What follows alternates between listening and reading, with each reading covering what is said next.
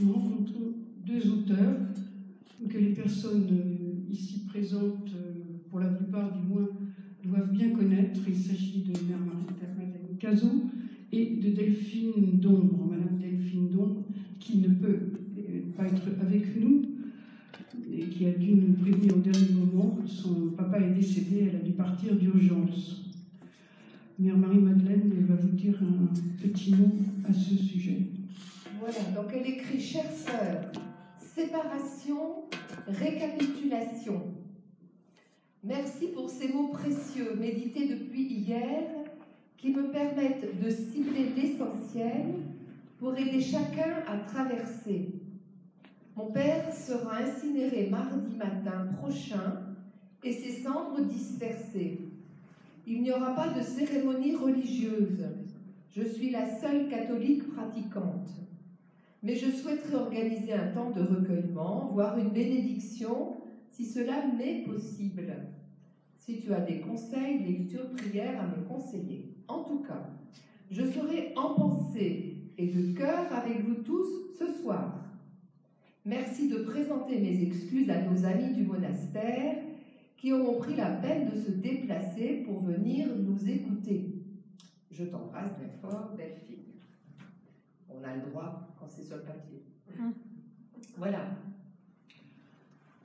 Alors, Mère Marie-Madeleine, je n'ai pas tellement envie de vous la présenter parce que ça serait un petit peu ridicule. Dans son nouveau livre, elle nous entraîne euh, dans le monde de l'asile d'Irénée de, Lyon, au IIe siècle après Jésus-Christ, entendu. Elle, il s'agit là de, l'analyse de l'œuvre capitale d'Irénée de Lyon, qui s'appelle Contre l'hérésie ou Réfutation de la prétendue gnose. Irénée de Lyon est né euh, en Asie mineure, en fer 130. Il est mort à Lyon en, en 208 et il a succédé à Saint Potin, qui a été martyrisé en 179 lors d'une violente persécution. C'est l'époque de Sainte Blandine, pour ceux qui ont appris le martyr de Sainte Blandine. Il est père de l'Église et l'année 2020 est un peu son année. Elle lui a été consacrée par euh, le diocèse de Lyon et sa postulation comme docteur de l'Église s'appuie sur l'aspect très actuel de sa théologie. En effet, au IIe siècle, la doctrine chrétienne s'était très largement répandue, mais elle était aussi en grand danger de ne pouvoir garder sa conquête au sein du monde païen. La foi et même les fondements historiques du christianisme étaient menacés d'altération. Plusieurs mouvements hérétiques avaient surgi, la plupart du temps euh, des mouvements qui s'attaquaient à l'aspect matériel euh, le mouvement gnostique était le plus dangereux pour l'Église. Les gnostiques euh, prétendaient posséder une connaissance religieuse la plus haute et ils transformaient ceux qui étaient chrétiens, parce qu'il y avait plusieurs mouvements gnostiques, ils prétendaient voir dans le christianisme une religion dualiste. Ils méprisaient la création matérielle il voyait le Christ non comme un homme réel et historique, mais comme un être céleste semi-mythique. Et le Dieu créateur, avec ses commandements, était pour eux une puissance hostile.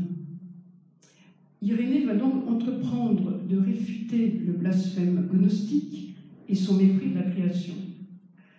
Et Mère Marie-Madeleine, dans son ouvrage, s'attache avec profondeur, rigueur et finesse à analyser la démarche d'Irénée, qui nous démontre la progression de l'homme vers l'incréé selon trois aspects économique, anthropologique et eschatologique. L'aspect eschatologique suppose comme but la vision de Dieu et concerne tout l'homme, corps et âme, nous dit Irénée, rétablissant ainsi la noblesse de la création matérielle. Mère Marie-Madeleine, dans cette partie propre à l'eschatologie, développe longuement l'argumentation d'Irénée, qui soutient le point de vue de l'Église sur la destinée de l'homme, comprise comme une progression de tout l'être vers l'incréé, du passage de la chair mortelle à la chair ressuscitée. Cette profession de foi réactualisée à travers 18 siècles de distance intervient à point nommé, car si nous savons tous que la résurrection du Christ est la nôtre est le point fondamental de notre foi, nous savons aussi que ce point est très discuté non seulement chez les incroyants, mais aussi, et cela est plus surprenant, pour un pourcentage non négligeable de chrétiens.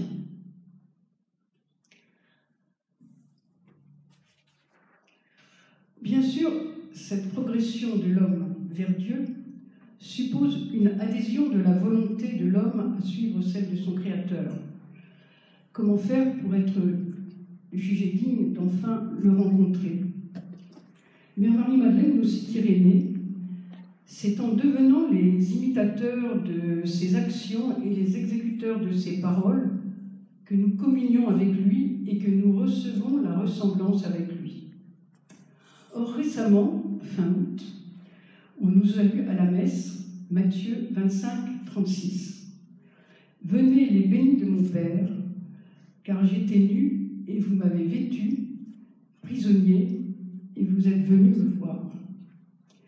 Et c'est à ce niveau essentiel qu'intervient le livre de Madame Delphine d'Ombre. Je vous la présente un peu, bien que vous, deviez la connaître. Elle est professeure de lettres, mariée, mère de famille, oblate de ce monastère depuis le 7 décembre 2017 et visiteuse de prison au sein de l'association des petits frères des pauvres à Paris. Son livre est un très vibrant témoignage qui cherche à nous faire comprendre, nous faire comprendre le cœur d'une humanité punie, brisée, mais sous l'angle du regard de Dieu. Il témoigne de rencontres impressionnantes et parfois magnifiques. Par lui, nous sommes forcés, entre guillemets, d'écouter ses sans-voix qui purgent leur peine dans la solitude, la détresse, à travers la maladie, la vieillesse et la révolte parfois. Et quand on lit ce livre, on, voit la visiteuse de prison écoute.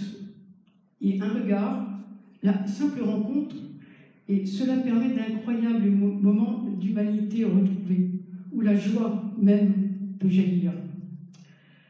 Ce livre nous fait aussi euh, regarder certains aspects très laids de notre société hors les murs cette fois-ci.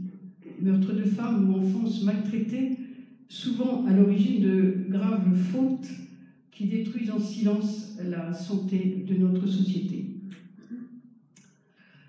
Ce livre est dynamique, comme la théologie de Saint Irénée, chère au cœur de Marie-Madeleine, de Mère Marie-Madeleine.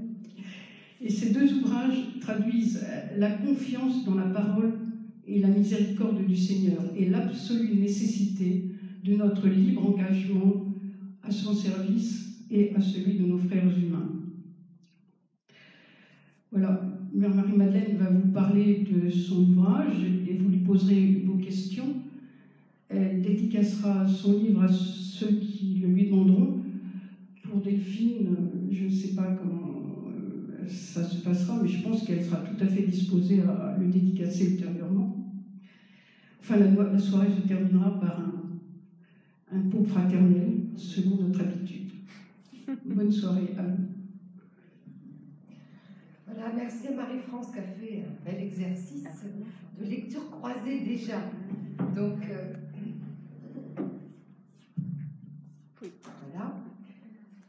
Donc, avec euh, déjà une bonne présentation de la gnose. Donc, merci de votre présence. Et puis c'est une, soirée qui n'est pas comme c'était prévu. Voilà. Donc euh, ça m'a fait penser à une remarque. Samedi dernier, j'étais à, la bénédiction abbatiale d'un abbé à côté de Toulouse, en Calcate. Et le vieil abbé mérite de plus de 80, presque 90 ans euh, me dit Oh, cette année, ça n'a pas été comme. cette année, rien n'a été comme on avait prévu. Cette année, rien n'a été comme on avait prévu. Dieu a tout bouleversé. Dieu a tout bouleversé. M'a dit cette année, à la bénédiction de son jeune abbé de 48 ans. Alors c'est vrai que euh, leur abbé avait 65 ans, il a démissionné pour raison de santé, le Covid est arrivé, enfin il y a eu tout un bouleversement, toute leur, euh, prévision d'année a été bouleversée. Et ce jour-là, eh ben, il disait ça avec beaucoup de sourire en disant, ben voilà, il faut accepter l'imprévu de Dieu et y trouver notre réponse. Rien, absolument rien n'était prévu de que je me retrouve seule ce soir à vous parler, puisque on avait un petit peu préparé avec Delphine ce dialogue croisé. Euh, donc je reprends à ces mots, rien n'était prévu, et, je me dis, voilà, euh, comment gérer cet imprévu, et pour que ben, Dieu s'y retrouve et nous aussi. Donc c'est pas un croisement de nos voix, mais ça va être un épaississement, un enrichissement autrement.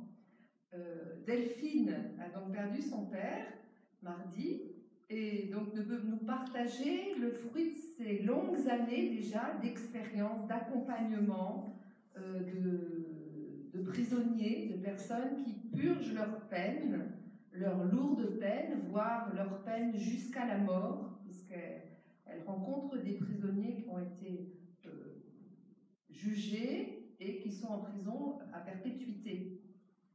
Donc, elle, euh, dans, dans son livre, ce qui m'a beaucoup touchée, c'est à la fois cette sensibilité, son émotion, sa poésie et la profondeur de l'humanité, où, où on, on, sent, on sent que euh, ces hommes ou ces femmes gardent quelque part l'espérance d'une vie qui n'est pas achevée, même si euh, on voit dans certains témoignages une grande solitude, euh, des, semaines, des mois sans parler à personne, voilà. une humanité blessée, fracassée, et, pourtant une espérance. Et, c'est vrai qu'en en discutant avec, avec Delphine, nous nous sommes rencontrés sur cette espérance euh, qui vient du fait que pour Dieu, rien et personne n'est perdu. Et c'est vraiment la dynamique d'Irénée de, Lyon qui, euh, qui essaie de montrer comment euh, Dieu saisit, est venu prendre la condition humaine, saisir l'homme et le ramener, quel que soit le lieu d'où il est, le ramener à sa dignité d'être humain. Pas le ramener directement au Père, comme un enfant qu'on prend par la main, pour mettre là où il doit être, mais lui redonner sa capacité d'être, de participer à sa vie réelle d'enfant de Dieu, de participant à la nature de Dieu, donc de devenir lui-même enfant de Dieu. Et cette espérance qu'a Irénée euh, est pour nous, était pour nous le lieu même euh, d'un croisement, d'une voilà, d'une espérance que nous célébrons quotidiennement dans euh, la foi et donc dans le mystère eucharistique, dans la, liturgie et que nous essayons aussi d'incarner dans le quotidien. Donc voilà, c'est cette dynamique-là euh, qui, qui, est un point commun entre Irénée de Lyon et l'œuvre et le livre de, de Delphine. Voilà, donc c'est le point de départ de ce que je pourrais vous partager ce soir. Euh, il y a une illustration en chair et en os dans ces vies cassées, fracassées, qui ont fracassé, qui ont cassé d'autres vies, hein, de, de l'inouï de Dieu. Le salut pour tous, le salut librement accueilli, librement offert à tous, librement à l'œuvre en tous la pastorale carcérale concrète, douloureuse, fragile, malhabile aussi, voire inféconde aux yeux des hommes, des femmes, cette pastorale de l'ombre est vraiment euh, fécondée, fondée sur cette théologie optimiste, enthousiaste, dynamique, tel qu'Irénée l'a exposé dans l'Adversus Ereses, donc la réfutation contre la gnose. Alors, cette théologie est ardue, on ne peut pas s'en cacher. Euh, c'est pas tout à fait facile de suivre les méandres de la pensée d'Irénée, surtout, surtout sur ces différents plans, à la fois euh, humain, anthropologique, sotériologique, le salut, et eschatologique. Donc on a différents plans qui reposent aussi sur euh, la réfutation de la gnose. Alors je vais vous lire un petit passage pour vous dire voilà d'où Irénée part. Quand on commence à lire l'Adversus Cereses, on dit oh là, dans on est parti? Ah, ah, hélas, hélas, il est bien permis en vérité de pousser cette exclamation tragique devant une pareille fabrication de noms, devant l'audace de cet homme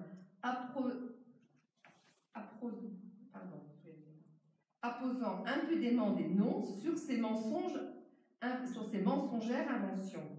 Car en disant, il existe avant toute chose un pro-principe pro-inintelligible que j'appelle unicité, et avec cette unicité coexiste une puissance que j'appelle encore unité, donc ça c'est des guillemets qu'il cite, il avoue de la façon la plus claire que toutes ces paroles ne sont qu'une fiction et que lui-même appose sur cette fiction des noms que personne d'autre n'a employés jusque-là. Sans son audace, la vérité n'aurait donc pas encore aujourd'hui de nom, à l'en croire.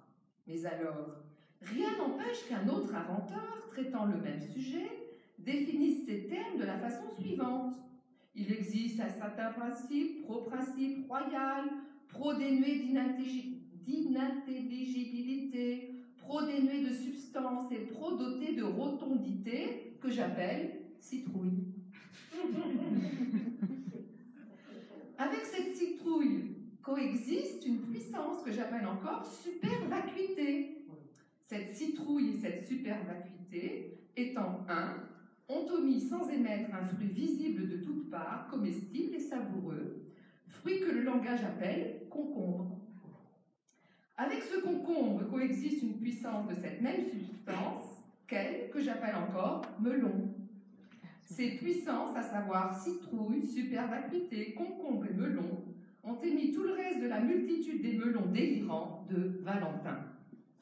Donc, euh, on a quand même une petite série. Alors, quand vous commencez à étudier l'adversus Cérézère, vous vous dites où, est-ce que je vais aller avec ça? Donc, il ne faut pas vous inquiéter, il faut simplement rentrer dans l'humour d'Irénée, qui, va dire, mais voilà, euh, on peut inventer plein de choses, des, alors, des, super principes, les ions, la gnose, on se croit intelligent, on met des mots que personne n'a encore jamais mis, et puis on va faire croire ça aux gens vous voyez qu'on n'est pas très loin de ce qui se passe aujourd'hui dans certaines. Euh, Donc on va inventer une religion, on va inventer un savoir qui va être proposé pour des élites. Donc il faut être initié, c'est pas pour tout le monde. Alors le travail d'Irénée, ça va être de reprendre un à un ces arguments, ces, de Valentin, des et de les démonter en disant, mais voilà ce que l'écriture, et c'est ça qui est un grand point de la, théologie d'Irénée, c'est qu'il fonde sa démonstration sur l'écriture. Le principe de l'argumentation scripturaire, donc très tôt, puisqu'on est en 180, 200, est, un des premiers principes de la foi, de, de l'énonciation de la théologie. Un principe auquel Vatican II va faire revenir l'Église, ce retour à l'écriture. Donc Irénée fonde sa théologie sur Saint Paul et Saint Jean. Donc l'écriture, Saint Paul et Saint Jean sont les deux fondements scripturaires majeurs de Irénée, qui n'exclut bien sûr pas les autres évangélistes, mais il va, voilà, il va fonder son, sa, son explication de la foi, le salut pour tous, en fonction de l'incarnation, à travers ce croisement d'écriture qu'il va bien sûr confronter à l'Ancien Testament. Donc, ce qui est intéressant, c'est qu'il va pouvoir montrer, donc très tôt, puisqu'on est en, quand on parle d'écriture au 1er et 2e siècle, on n'a pas encore complètement le Nouveau Testament. C'est aussi ça, quand Irénée parle de l'écriture, il parle de l'Ancien Testament. Et après, il va dire le Nouveau Testament, enfin, le, les évangiles et Saint Paul vont éclairer, expliquent, accomplissent, récapitulent, c'est un mot très important, récapitulent ce que l'écriture va annoncer, a promis, la promesse de Dieu. Donc, on a vraiment le premier père, c'est pour ça qu'il est quand même très important qu'il soit honoré aujourd'hui. Il n'est pas docteur, et, j'aimerais, je pense que les Irénéens aimeraient bien que Irénée soit reconnu comme docteur de l'Église, qui aujourd'hui détaché de toute philosophie. Il n'y a pas encore la réflexion philosophique et les complications euh, qui, vont faire que la philosophie va inscrire la, la théologie et la philosophie vont être nécessaires, mais, mais on peut très bien vivre de la foi sans, euh, au départ avec Irénée, sans, de, sans concept philosophique compliqué. Donc, euh, et, Irénée est un mot, enfin, j'allais dire, est le, le, père de cette théologie scripturaire, pastorale et, et spirituelle qui conduit de du consentement d'être image de Dieu, créature, et conduit vers la ressemblance. Donc toute la, dynamique de croissance, de progression, ce sont les termes mots, les, termes propres d'Irénée, cette progression de l'homme, de la créature vers l'incréé, Dieu qui est incréé, cette progression se fait par l'image qui est en nous, qui va devenir progressivement, qui va se détacher progressivement de la fausse du péché, pour devenir ressemblance. Alors ça va, ça va s'appeler la divinisation de l'homme. La divinisation, l'homme, peu à peu, par sa propre liberté, devient ressemblance, ressemble, et la fin, le dernier mot de la Cérézès, il devient concorporel, concorporel, c'est-à-dire de la même, du même corps que Dieu. Nous sommes concorporels au Christ, qui est la, ressusciter. Donc vous voyez, cette, cette démarche de foi anthropologique repose sur l'écriture. Et c'est ce qu'on a, ce que Irénée a appelé la récapitulation. C'est-à-dire que le, le, schéma même, c'est que Dieu nous prend là où nous sommes. Aujourd'hui, il est là, vivant. Et aujourd'hui, là, vivant, il récapitule notre histoire en récapitulant l'histoire du salut. En chaque homme, se vit aujourd'hui la récapitulation. Alors je me suis dit, ben voilà le mot d'ouverture. Le papa de Delphine, c'est ce que je lui ai écrit, c'est pour ça qu'elle marque séparation, récapitulation.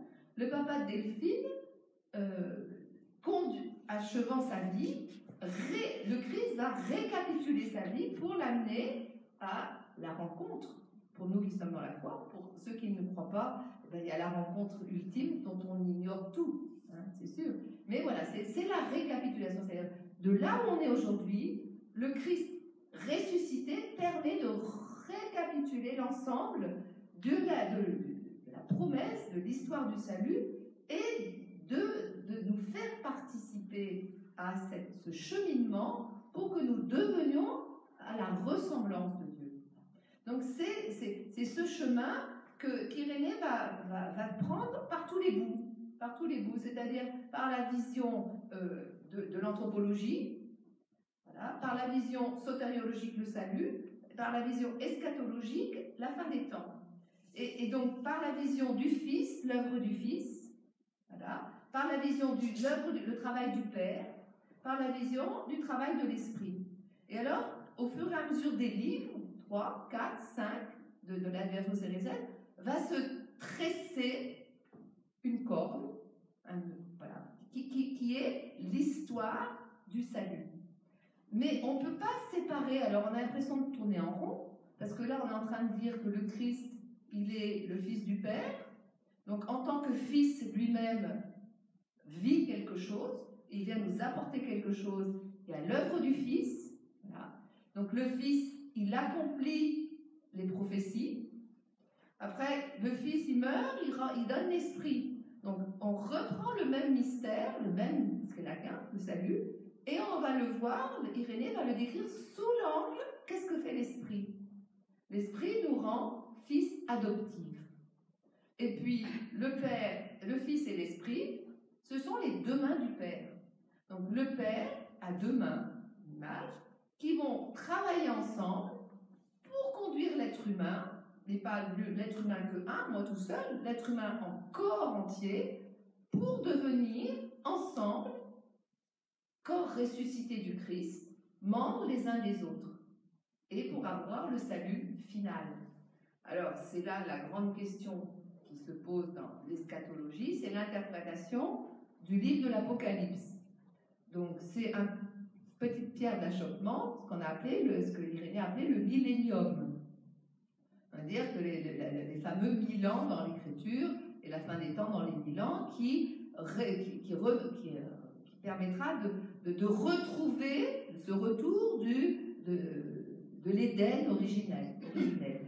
Donc le paradis, ce retour au paradis, comme s'il n'y avait rien eu. C'est pas ce qu'Irénée dit. Et, aujourd'hui, dans, le travail théologique de ceux qui postulent pour le doctorat d'Irénée, disent Irénée n'a pas dit ça, et au contraire, il ouvre une porte pour vraiment se dire mais l'eschatologie, qu'est-ce que c'est? Il ne répond pas.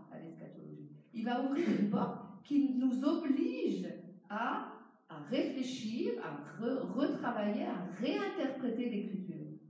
Parce que ça va être une des grandes œuvres aussi à travers de, l'Esprit Saint, c'est que l'Esprit Saint permet d'interpréter l'écriture et de trouver l'écriture qui s'explique par l'écriture. On a ça, on aura ça qui va être expliqué par Origène, mais Irénée le vit, le, travail.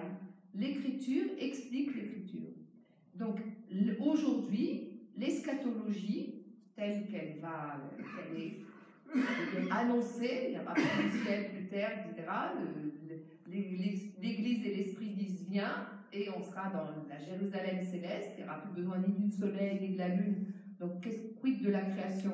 Irénée dit non, non, non, c'est pas qu'il n'y a pas de création, c'est pas qu'il n'y a, pas de dualité, la création elle est bonne, elle est sauvée. Donc, il y a toute un, une réflexion qu'on retrouve aujourd'hui dans, l'écologie intégrale. Il y a une réflexion sur la création est sauvée. Comment on n'en sait rien mais, mais la création est sauvée. C'est pas parce que l'Apocalypse il n'y aura plus de terre, plus de ciel, plus d'étoiles, etc., que ça n'existe pas, que ça n'a pas de valeur. Non. Donc, mais il y a une ouverture possible grâce au travail de l'Esprit et de, du Fils, qui sont les deux mains du Père et qui, et qui, qui conduisent l'humanité entière à participer au jour le jour à l'œuvre de salut, de récapitulation du Père, pour qu'on devienne librement, je crois que la plus grande ouverture qui doit nous, interpeller aujourd'hui, c'est cette liberté. L'homme est appelé à librement répondre à sa vocation d'homme et à y participer. Donc je vais... Euh, ça c'est le fondement de toute la... du livre de Tyrénée. Alors j'ai simplement retenu euh, cette dynamique trinitaire de l'économie du salut. Je me disais, on va peut-être s'arrêter là-dessus ce soir, avec trois mots qui sont importants prophétice, adoptivé, paternalitaire. Donc la prophétie, l'adoption filiale et le côté paternel. Donc il y a toujours des triades chez Irénée. Il ne sépare jamais le Père, le Fils et l'Esprit Saint. Et donc, quand euh, Irénée dit l'œuvre de l'Esprit, c'est d'amener l'homme à saisir la gloire du Père, afin qu'enlacé à l'Esprit de Dieu, l'homme accède à la gloire du Père. Le Verbe et l'Esprit, les deux mains du Père, délivrent les hommes des mains de ceux qui les haïssent. Donc les deux mains du Père délivrent les hommes des mains de ceux qui les haïssent. Ça, il y a de quoi méditer. Aujourd'hui, aujourd'hui, hein, voilà, c'est des points communs avec Delphine, Qu'est-ce qui délivre des mains de ceux qui les haïssent? Ces hommes, ces femmes en prison, qui sont eux-mêmes prisonniers de ce qui les a mis en prison, c'est-à-dire de leur propre violence, de leur propre euh, que c'est toujours ceux qui sont en prison comme ça, c'est que des meurtriers. Donc, qu'est-ce qui les a conduits à être meurtriers et qu'est-ce qui va pouvoir les aider à être délivrés des mains hein, de, qui les haïssent leurs propres mains souvent. Donc, vous voyez ce cheminement d'une puissance de conversion, une puissance de remise debout qui est inouïe. Et, donc, c'est l'œuvre de l'Esprit et de, du Fils, parce que le Fils a accompli, a accompli l'œuvre du Père, et par l'Esprit nous confie cette continuation, cette incarnation continuée, pour que nous participions à cette œuvre du Père. Alors voilà un petit extrait du chapitre du livre 4. Dieu peut tout. Vu autrefois par l'entremise de l'Esprit selon le mode prophétique, puis vu par l'entremise du Fils selon l'adoption, adoptivé, il sera vu encore dans le royaume des cieux selon la paternité, paternité, paternalité. L'Esprit préparant d'avance l'homme par le Fils de Dieu, le Fils le conduisant au Père, et le Père lui donnant l'incorruptibilité et la vie éternelle, qui résulte de la vue de Dieu pour ceux qui croient. Donc ça c'est un petit paragraphe, il n'y a que quatre lignes. Et vous voyez la densité. On entend la densité. Aucun mot n'est trop. Et on a toute la substance du christianisme dans ces, dans ces quatre lignes. On a tout là. Après, il va falloir des siècles et des siècles, et encore aujourd'hui, après, euh, Irénée va reprendre ces quatre lignes en rapport avec les sacrements, en particulier l'Eucharistie. Et il va dire, voilà, dans l'Eucharistie, nous est donné le Verbe incorruptible. Donc celui qui mange le Verbe incorruptible, comment peut-il manger s'il mange l'incorruptibilité, ne pas devenir incorruptible? Il est grand le mystère de la foi, mais, et, donc Irénée va s'arrêter là. Il ouvre une réflexion, il ouvre un chemin théologique en disant, mais comment, puisqu'on mange, on dit je crois que ce corps du Christ est incorruptible. Il a vaincu la mort, il est incorruptible. Si je mange, si je reçois l'incorruptibilité, comment puis-je devenir autre chose que moi-même incorruptible? Donc participer à la vie éternelle. Alors, c'est pas d'aller à la messe parce qu'il faut aller à la messe. Hein. On en est loin de la, voilà, on n'est plus dans la pastorale morale, on est là dans une théologie active, c'est-à-dire que le sacre, la parole fait ce qu'elle dit. Ce pain d'incorruptibilité, vous voyez, ça c'est symbole, hein. ce pain d'incorruptibilité que nous recevons nous rend incorruptibles. C'est ce qu'on aura dans le credo, je crois, en la résurrection de la chair. Alors comment on n'en sait rien? Mais est-ce que c'est intéressant de savoir comment? C'est déjà de croire qu'on sera, on est incorruptible. Et euh, maintenant, en moi, l'incorruptibilité fait son œuvre. Même si ma foi est éprouvé par l'œuvre de notre limitation. Nous sommes des êtres limités. Delphine a perdu son papa. Son papa, aujourd'hui, il est mort. Il va être incinéré, les cendres vont être répartis. Voilà. Qu'est-ce qui reste de ce corps incorruptible? Xavier Dufour va dire voilà, au moment de la mort, hein, l'esprit, on peut comprendre facilement que l'esprit retourne au Père. Comment la chair retourne Comment la chair retourne au Père? Dans la foi, par cette semence d'incorruptibilité que le Christ a donnée dans les arts de l'esprit aux hommes. C'est un mystère qui est très épais, très large, et que nous, peu à peu, on peut, pas forcément éclairer avec des mots, avec une intelligence, une raison, mais nous approprier, vivre de cette espérance. Euh, vivre de cette espérance, c'est bien voilà, cette incorruptibilité donnée du Père, donnée par le Fils, et que l'Esprit rend active, elle est à portée de la main, puisque c'est le sacrement que je reçois à l'Eucharistie. Ça, c'est euh, l'ouverture sacramentelle de euh, la théologie d'Irénée. c'est un exemple. Donc, je continue la lecture d'Irénée. Euh, la manifestation est donc le dynamisme trinitaire n'a pour but, ça c'est moi qui le dis, que de rendre l'homme parfait, capable de voir Dieu. Connaît ça par cœur. L'Esprit prête son assistance, le Fils fournit son ministère, le Père notifie son bon plaisir, et l'homme est rendu parfait en vue du salut. Ce n'est pas l'homme qui travaille à sa perfection, vous avez entendu, l'homme est rendu parfait. Et comment? L'Esprit prête son assistance, le Fils fournit son ministère, le Père notifie son bon plaisir.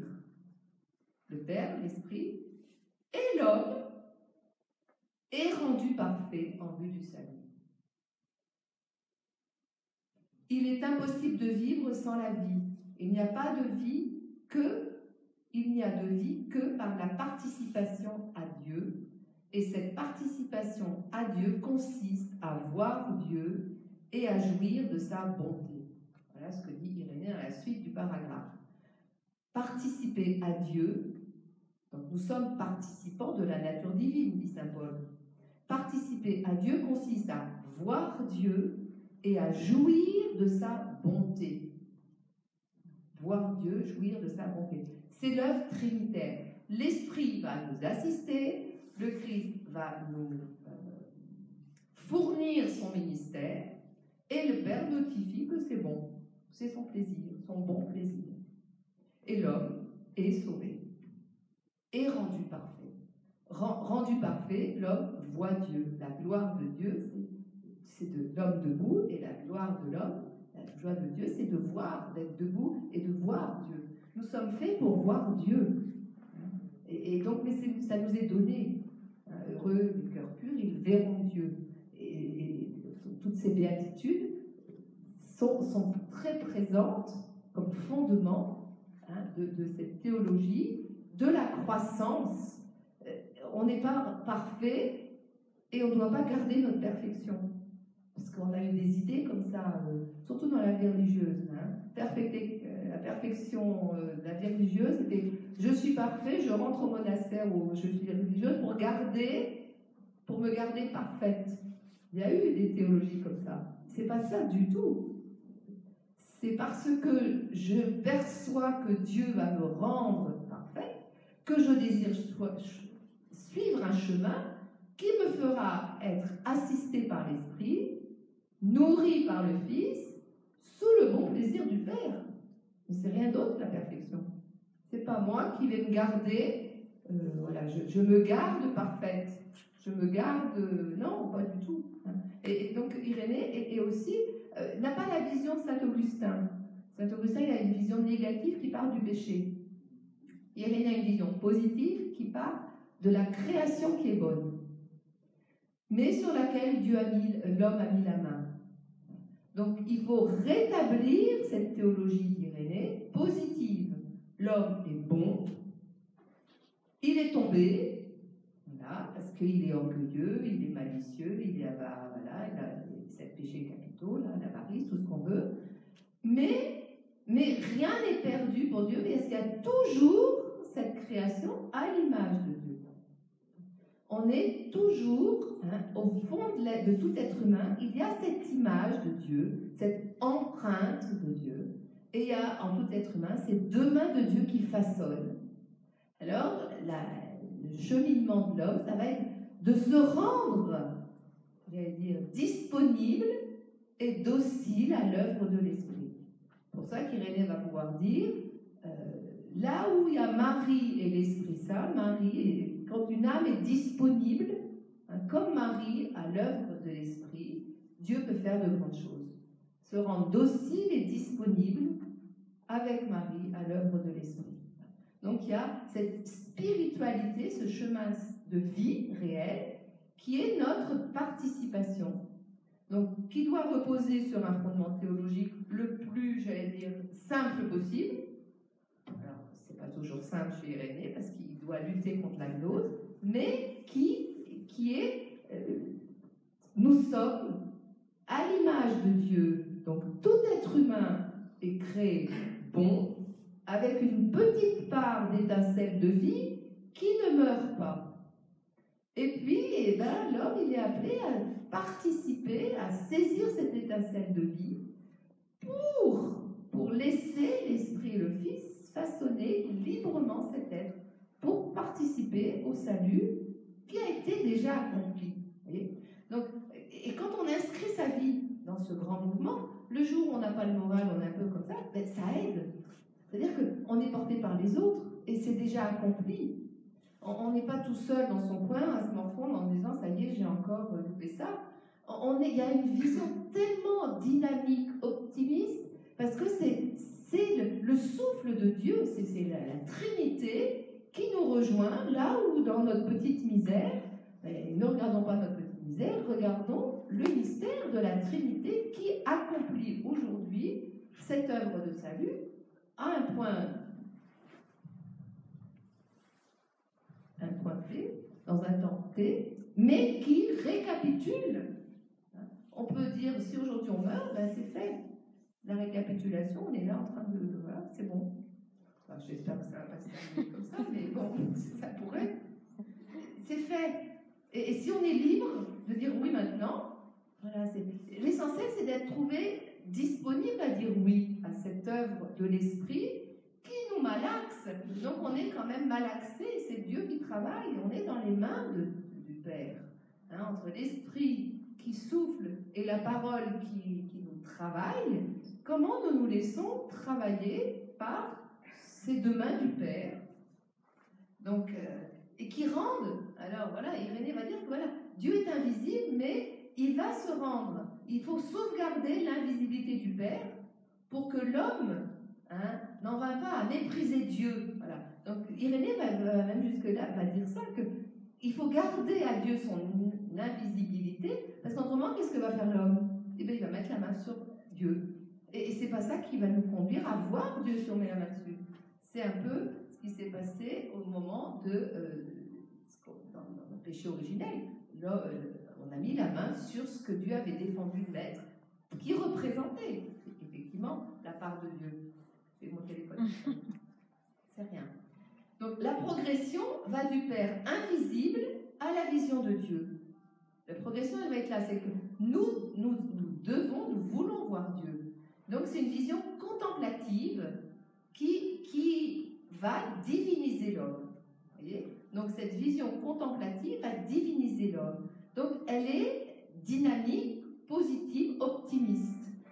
C'est-à-dire que, voilà, euh, ça c'est Mm. comme on n'arrive pas à avoir peur. Donc c'est, c'est- le- le- il y a une grande cohérence. Je pense que ce qu'il faut voir dans, dans cette lutte contre les hérésies, dans ce travail d'Irénée, c'est une grande cohérence dans une quelque part une, une vraie euh, liberté. Euh, on si on voit Dieu, eh ben, il n'y a plus de foi et on peut mettre la main dessus. Il n'y a plus de progression. Il n'y a plus, et, puis il n'y a plus de possibilité de se relever d'une chute. Donc, euh, Irénée va dire voilà, l'invisibilité protège l'homme finalement, protège l'homme pour qu'il aboutisse au chemin. Donc, mais l'esprit, le Christ a rendu, euh, a donné, a montré un visage de Dieu, et l'esprit va rendre actuel le message du Christ. Donc Dieu ne va pas nous abandonner, mais simplement c'est on progresse. On ne peut pas voir Dieu euh, sans mourir. On ne peut pas voir Dieu d'emblée. On n'est pas, on pas Dieu. On est créature. Donc ce chemin de la créature vers l'incréé, celui qui qui n'est pas créé, c'est un chemin qui, qui est fait de, qui progresse. Mais la progression n'est pas linéaire. La progression, elle va être voilà, sinueuse, elle va être accidentée, elle va être euh, pleine d'humanité, et elle ne va pas être en solitaire. C'est, moi, j'arrive pas à Dieu, puis les autres m'en fichent. Donc, vous voyez, aujourd'hui, cette concorporalité, hein, cette, euh, elle, est, elle est actuelle. C'est-à-dire, comment, comment on va pouvoir euh, réannoncer dans l'évangélisation qu'on ne peut pas être chrétien, on ne peut pas être sauvé tout seul. Hein, moi, j'ai mon Jésus, j'ai ma messe, mais ça me va. ça n'a pas beaucoup de sens pour euh, un chrétien comme Irénée. C'est pas ça l'essentiel. L'essentiel, c'est que tout, Dieu, soit tout en tous. Donc, c'est que tout le monde soit sauvé. Donc, tant qu'il y en aura un qui ne sera pas sauvé, on va attendre. On va, attendre tranquillement, en travaillant. C'est Dieu qui travaille, c'est pas nous. Voyez? Donc, cette, euh, cette, cette vision, cette vision euh, optimiste, elle accomplit ce que les prophètes ont annoncé. Et, donc c'est aussi ça qui, est très important, c'est le lien que fait Irénée du Dieu de l'Ancien Testament et du Dieu de Jésus-Christ. Parce qu'il y a une gnose qui dit que ce n'est pas le même Dieu. Donc Irénée va dire si. Ce qui est annoncé dans l'Ancien Testament est accompli récapitulé par le Christ. Il n'y a qu'un Dieu, ce Dieu créateur, ce Dieu sauveur, hein, ce Dieu qui, qui, qui, donne le salut, donc ce qu'il appelle l'économie du salut. il est quelle heure? Ça va? 9h moins 5. 9h moins 5 Donc j'arrête. Simplement, voilà, si on veut que cette euh, repenser cette théologie actuelle, il y a le retour à l'écriture, cette vision optimiste de l'homme, dans un monde qui est très pessimiste, ce regard de foi, ce chemin ecclésial du corps, pas tout seul, donc on peut vraiment avoir une lutte contre l'individualisme, et puis cette foi éclairée. C'est, rappelez l'encyclique du pape euh, Jean-Paul II, foi et raison. Irénée est un des premiers, sans la, pensée philosophique, à tenir la foi qui va être éclairée par une raison, par une, une pensée, une intelligence, mais une intelligence qui ne s'approprie pas le savoir, qui ne s'approprie pas Dieu, une intelligence qui au contraire ouvre un chemin, un chemin d'appropriation, un chemin de croissance, un chemin de progression. Et surtout, la foi n'est pas faite pour une élite. La foi, elle est offerte à tous. Donc tout le monde est sauvé, même quand on est enfermé dans une prison. Et que c'est à nous de pouvoir porter ce message d'espérance, à nous de le vivre dans notre chair, et à nous voilà, de, laisser hein, Dieu tisser ce cordage fort du Père, du Fils et de l'Esprit, cette dynamique trinitaire, pour vraiment porter du fruit, ce fruit pour aujourd'hui, qui est le bon plaisir du Père. Voilà. Donc, euh, je vous remercie de votre attention. J'espère que je n'ai pas été trop euh, compliqué, mais c'est quand même un peu dur, quoi. Lumineux. Comment? Lumineux. Maintenant, Surtout s'il n'y a pas de questions, vous avez des... n'en inventez pas, hein, c'est pas la peine. Lisez le livre et puis après. J'ai plus rien à dire, mais si vous avez des questions, vous les posez quand même.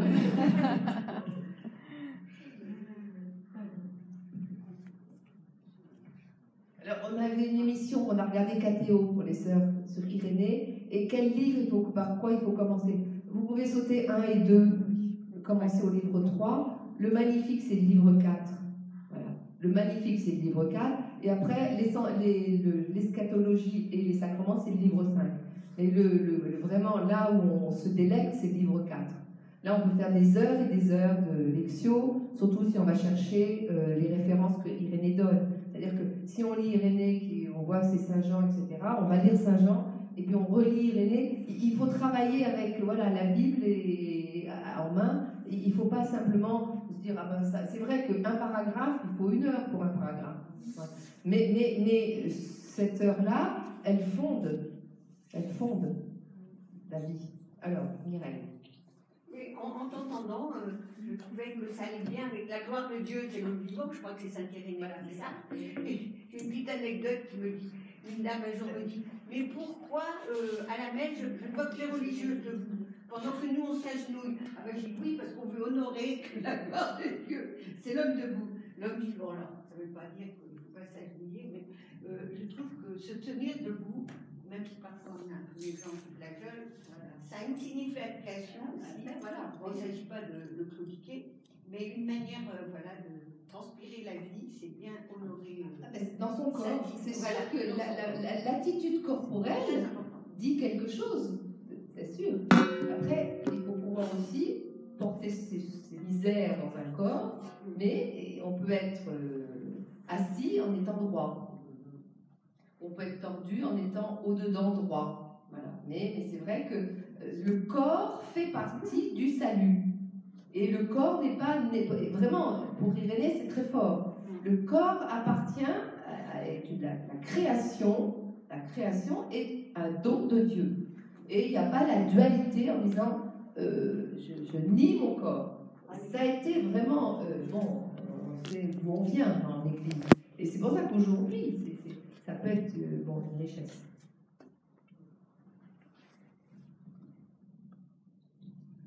Moi, ce que j'ai beaucoup apprécié, c'est la. C'est la. Oui, c'est bon, ça marche? Ça marche C'est la ressemblance avec l'époque actuelle au niveau des, des difficultés et au niveau des, enfin, de l'incroyance et des dérives intérieures. Et ça, ça m'a intéressé parce que, en, fait, il faut toujours, toujours être en éveil. Et il a fait un travail euh, remarquable, mais il faut vraiment que les chrétiens euh, s'entretiennent sur leur foi. Il ne faut pas qu'ils s'endorment, il faut pas qu'ils agissent, comme Delphine euh, le fait aussi bien, mais il faut aussi qu'ils pensent on n'a pas une foi euh, sotte, on a une foi à approfondir, on doit être actif et dans notre foi et dans notre action. Et c'est l'aspect que j'ai beaucoup aimé. Beaucoup aimé. la foi, sœur la foi active et intelligente. On ne peut pas simplement, il y a la foi du, charbonnier, hein, bon, c'est déjà bien d'avoir la foi du charbonnier, mais aujourd'hui, on doit avoir une foi active, intelligente nourrir sa foi, euh, la réfléchir pour qu'elle soit incarnée dans le monde d'aujourd'hui. Euh, voilà, qu'est-ce que, à quoi la parole de Dieu va nous, nous, nous inviter pour que notre foi soit aujourd'hui la, présence du Christ ressuscité œuvrant pour le salut des hommes, dans une foi intelligente mais qui n'est pas non plus de euh, voilà, la gnose, on a, on a il y a aussi, Irénée va parler de la tradition. Hein, un des premiers à parler de la tradition, donc parce que effectivement, euh, euh, on n'invente pas tout. Hein, on ne va pas dire citrouille, concombre et melon pour inventer, voilà. Mais, c'est intéressant parce qu'on rien envie. On dit, ces mots-là ne disent plus rien à notre monde d'aujourd'hui. Redonnons cher ces mots qui disent la foi depuis 2000 ans, et encore bien plus si on prend l'Ancien Testament. Les prophéties, c'est compliqué, les livres des prophètes. Qu'est-ce qu'ils nous disent aujourd'hui? Il faut travailler, il faut actualiser, il faut interpréter. Donc, euh, Irénée l'a fait pour son époque. Et il nous donne une manière de faire, un chemin. C'est un maillon. Maintenant, voilà.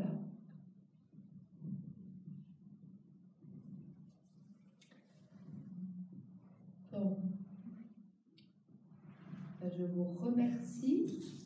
Je pense qu'on peut chanter peut-être, même si on va parler après, on peut chanter le salvé, nous confier à Marie, pour que ce chemin qu'elle a vécu, elle, de docilité et de disponibilité, aussi d'intelligence de la foi. L'obéissance de la foi, c'est aussi une intelligence, et Marie s'est rendue disponible à l'œuvre de l'Esprit hein, pour comprendre euh, jusqu'à jusqu'à la Pentecôte et jusqu'à son mystère d'Assomption le, don de Dieu. Donc, on n'a pas encore d'icône Marie dans la salle, mais on va voilà, chanter le. Peut-être que pour chanter, on peut enlever, baisser le masque.